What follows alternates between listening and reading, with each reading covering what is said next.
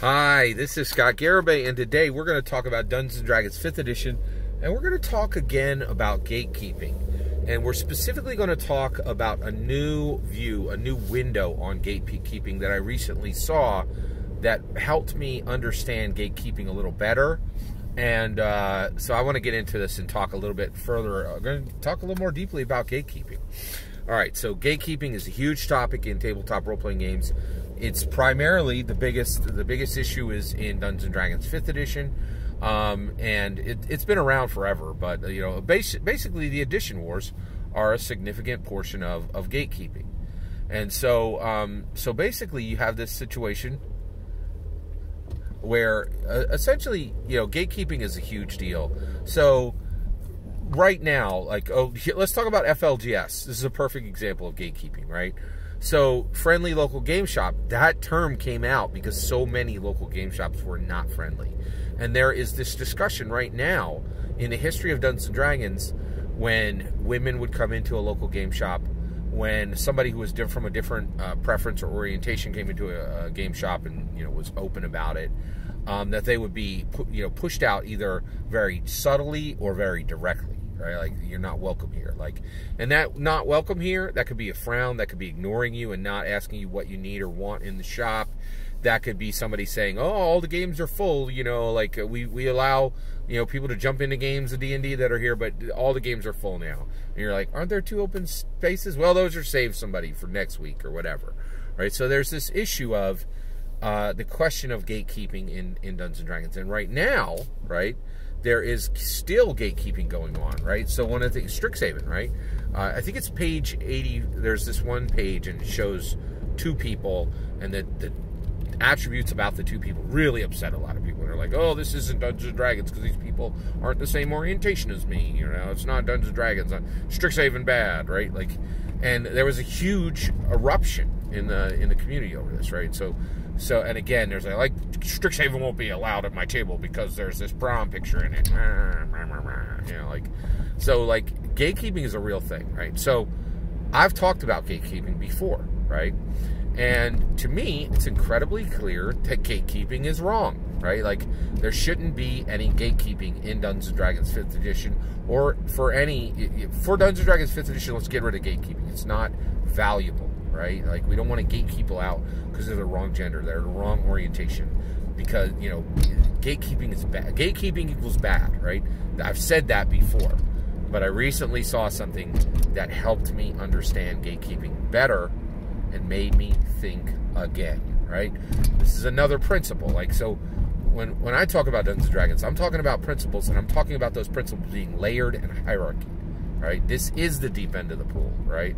And the reality is, like, you're not gonna like. I do Dungeons and Dragons meta commentary. I don't just talk about. I just don't do D and D commentary. I do D and D meta commentary, right? About the industry, about what it means to be a dungeon master, about what it means to be a player, and not just the mechanics of the game. Like, actually, you know, if you want to know what the best subclass is, right? There are people who will do that for you, right? Like you're not going to find that here, right? I'm talking about D&D meta, right? So so basically uh, one of my principles is don't stop thinking, right? And that and that's one of the reasons why I believe this is I think the reason people think Dungeons and Dragons is a game and don't think it's unbound identity and unbound immersion and one of the greatest achievements in American history is because they stopped thinking right? They've stopped thinking about Gary's legacy. They've stopped thinking about um, history of America. They've stopped thinking about psychology. They've stopped thinking about culture, right? They stop thinking. They're like, it's just a game. This is just Chutes and Ladders, right? And I, I just, I'm opposed to it. I'm opposed to ever stopping thinking. And this has grand ramifications, right? Where does this come from? Why do I keep thinking about things? Well, I'll tell you right now. The world wants to tell you that the things that are happening now have happened before, right? Been listening to this dude on uh, on YouTube who talks a lot about saying, "Hey, everything that's happening right now is an echo of what happened in Rome." And I'll tell you right now, this dude's brilliant, but he's 100% wrong. I truly believe the world we're living in right now is 100% unique and special, right? This is shockingly unique and special, right? And what what's happening here, right, is that um, is is that you know, we we flew in 1903 and we were on the moon in 1969. The acceleration of everything that's happening. We're, this ain't an this America ain't a Romeco. There's fundamentally different things happening now. The world is fundamentally different. I believe that, right? All right, so let's talk this through. So I recently saw a movie called Mixtape, and it made me see gatekeeping in a different light, at a deeper level. Okay, so one of the things that really shocks me about gatekeeping is there are people in the community right now. They're in the D and D not community, right? So let's talk about it. D and D now, Dungeons and Dragons Fifth Edition. D and D then, then D and D one E, two E, three E, four E. Okay, that's D and D then. D and D not games that are copies of Dungeons and Dragons 1E, 2E, 3E, 4E that are not Dungeons and Dragons. Okay, copies of the D&D then games, right? So in the D&D not community, you have people who are literally putting Gatekeeper on their chest. They're wearing it on t-shirts, they're putting it up as their their banners, right? And I'm like, this is crazy. How on earth can, you know, this is really outrageously ununderstandable. It's it's it's bonkers. I, I, don't understand how people could be doing this. How could people be taking something that is clearly negative and claiming it and putting themselves, putting it on themselves, right? Well, I just saw it in the movie Mixtape. I, I saw, I, when I try to relate to these people who are saying, I'm a gatekeeper, I'm like, are you out of your mind? Like, why on earth would you identify this for yourself, right? And when I looked at it, I couldn't think of any reasonable person saying, I'm a gatekeeper and wearing that as a badge of honor right? But the movie Mixtape showed it to me, right? I'm going to, so warning, spoilers for the Netflix Mixtape 2021 movie. The movie is about an orphan, okay? A girl whose parents died in the in the late 80s. And in the late 90s, 10 years later, she is trying to listen to every single song on a mixtape that they left. And she has to gather the songs up, okay? And so when she goes to gather the songs from the from the mixtape her parents made, right, and listen to these songs so that she can understand them better, she can't. She has to go to a record store, right? She goes to this super cool, super hip record store, and in the record store she meets the quintessential, uh, you know, vinyl fi- vinyl record, you know, person named, and he is the he is the record store He's just a worker at the record store, right? He doesn't even own it. But he keeps the vibe at the record store. And I know they didn't use the term vibe in 1990, in like 1999, right? Actually, this movie does happen in 1989, in 1999, and her parents died like in 1989. Okay, so this is happening right before Y2K, and so what it says in the movie is that this guy named Anti is the record store owner. Okay, now listen closely. Right? I'm sorry, he's the record store worker. He works in the record store. And this record store has a vibe. They're like, hey, if you come here, you can buy The Clash, you can buy The Cure, you can buy The Rolling Stones, and you can get them here on vinyl, right? And uh, you can listen to them on your record player, right? And if you come here, you ain't gonna find no Debbie Gibson, right? You are not gonna find any glam rock. You know, you're not going to get a Poison record here, right? This is for rock and roll, baby. This is for the scene. This is for, you know, rate, you know, this is for people who are rock and roll, right? No pop crap here, right? It's just rock, right? And so Anti is very much a gatekeeper, right? He's a gatekeeper in the shop, and he is not keeping people out of the shop, right? He is not creating an FLGS. He's not do creating a friendly local record shop. He is not. Uh, he he is absolutely not doing this. Um, basically, he, he is not keeping a friendly friendly local record shop.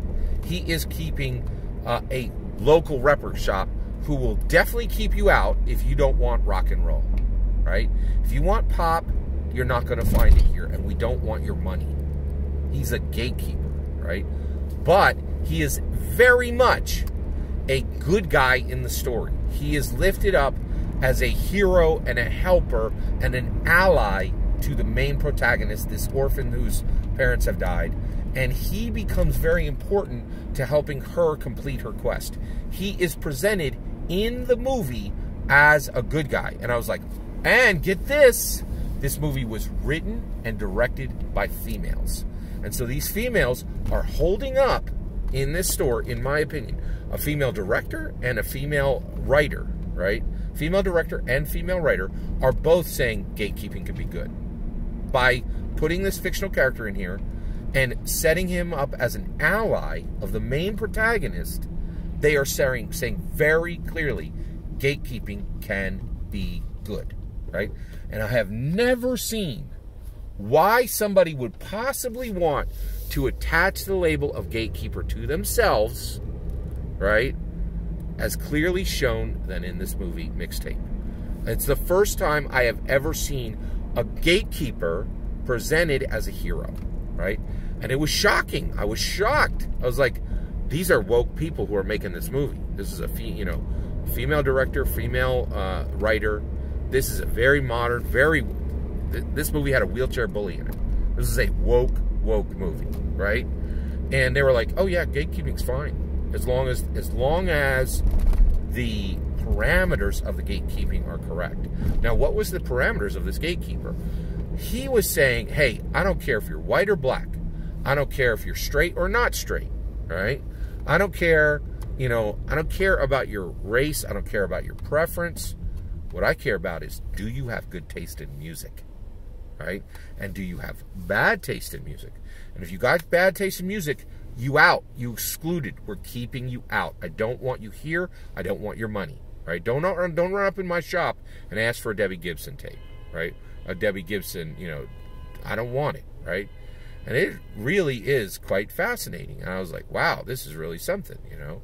So, um, so I had never seen a gatekeeper presented as a hero in any story, right? Which helps me understand why there are members of the D&D not community right now slapping gatekeeper on on t-shirts, slapping it on their YouTube thumbnails and owning it, owning this incredibly negative word and owning it like it's a good thing, right? This movie mixtape really helped me to understand why some people would be into gatekeeping. I also have to admit, right, like I have to think about this like, okay, where are we landing here, right? Let's say, and I could see that there might be some gatekeeping that almost everybody would be comfortable with. Here's a good example, right? Let's say you're uh, you have a gardening club, right? And uh, you say, hey, this is the Westbrook uh, Organic Gardeners Club, right? And so somebody comes in and they're like, "Hey, um, I, you know what I like to do to grow tomatoes? I like to use uh, pesticide, right? And I like you know, squirt a bunch of chemicals on it." And you're like, "Hey, this is an organic gardening club, right? So we can use manure, we can use compost. Everything wants to be environmentally environmentally friendly."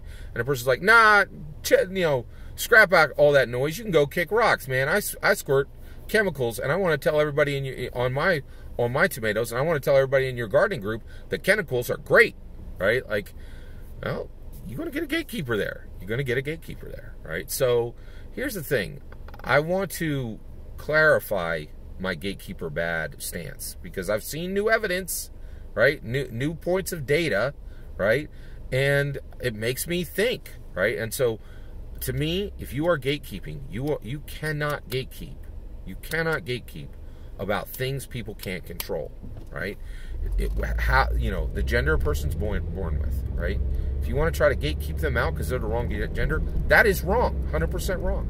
If you want to keep uh, uh, you know keep somebody out because of because of the color of their skin, that is one hundred percent wrong. They have no ability to change that, right? If you want to keep somebody out because of their preference, right, who they choose to love or, or not love, that is not your concern, right? Like it, it that is wrong You can't say, hey, I, you know, only straight people get to play. That's ridiculous. That is completely 100% wrong, right? However, if people are making choices, right, and they're saying, hey, I want to, uh, you know, um, I want to only use electronic dice rollers, right? So somebody comes in the FLGS and the FLGS is like, hey, everybody's welcome. take a seat at the table. And they're like, hey, I'm not going to roll real dice here. And like the you know the shop's like, well, you know, we have dice. Like we don't use apps here. Like you know, part of like being here is maybe you like give some money to the shop and buy some dice at least, you know. And uh, they're like, no, all our play, you know, we we're bringing six new players in, and uh, we want you to give us a, a DM. And uh, oh, and, and, guess what? We also just use DM D and D Beyond, right? And and we don't even uh, we, and we're not going to buy any. Um, we're not going to buy any uh, any books at your shop. We're not going to buy any dice at your shop, right?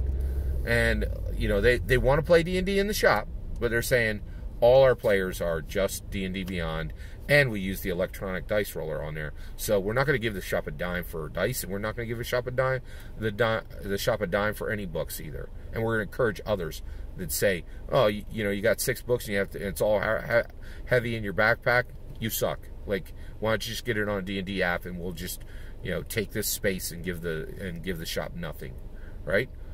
I think you can gatekeep them. You can be like, "Hey, nope, you ain't here." Like get you know don't sit down like bye right and the reason why is they're making choices as people we all get to make choices as people right and wherever we have the free choice right i i, I kind of thinking you would gatekeep there right and i love and frankly i would love to just be able to say gatekeeping bad it's a lot simpler you know there's no nuance you can just get right in there say what you want to say you know but the real the reality is I hate it when people kind of try to cram my opinion into an unnot, unnuanced stance I don't actually have.